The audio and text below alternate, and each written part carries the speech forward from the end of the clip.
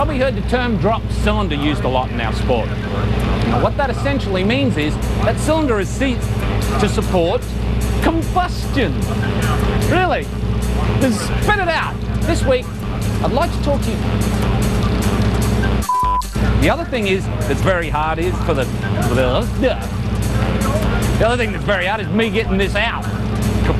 Combustion. You see, it's a lot more difficult to lie. This makes it even more difficult for to just just about nailed it. You take 482. Really?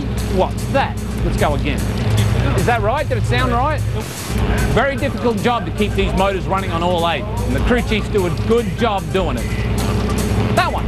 Let's go with the other two.